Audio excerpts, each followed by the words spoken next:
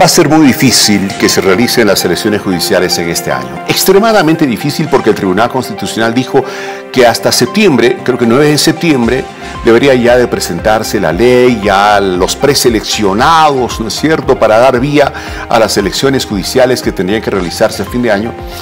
Pero así como están las cosas en el Senado, en la Asamblea Legislativa, es cada vez más imposible.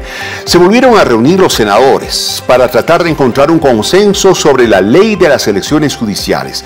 Debían lograr dos tercios para esa ley. No hubieron dos tercios. 19 senadores votaron por el sí y 14 votaron por el no. Habrá que esperar otra sesión en que intenten ponerse de acuerdo.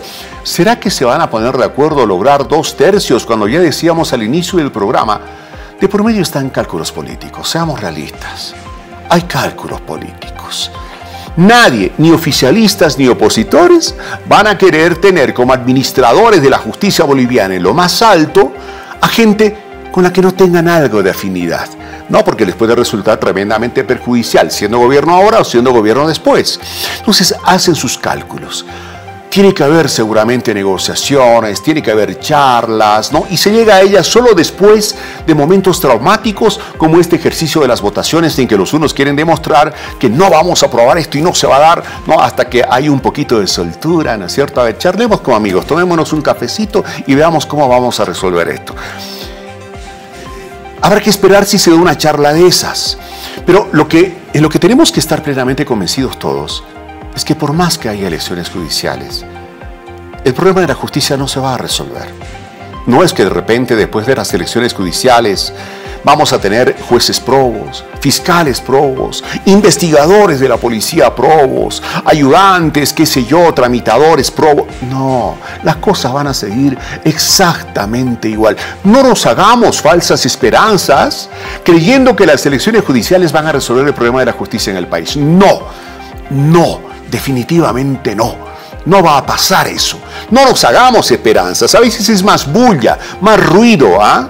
eh, que otra cosa. ¿ah? El, río sigue su curso. Es muy difícil cambiarlo así como estamos. Muy complicado. Eh, tienen que pasar cosas estructurales, cambios estructurales que no se van a dar fácilmente en un corto tiempo, menos en un mes antes de las elecciones judiciales. No, hay que, hay que trabajar, trabajar en un proceso bastante largo en esto de cambiar ese, ese patrón de corrupción que en este momento está en toda la estructura judicial de nuestro país. Es terrible, es triste, pero saben, les tengo esa mala noticia. La mala noticia no es que los asambleístas no se pongan de acuerdo con las elecciones judiciales. La mala noticia es que aunque se pongan de acuerdo, la cosa no va a cambiar, porque se pondrán de acuerdo cuidando entre ellos sus propios beneficios. La gente, nosotros estaremos mirando cómo juegan a través de los medios como nosotros en este programa, ¿no? noticias que nos distraen de lo que realmente resulta ser importante.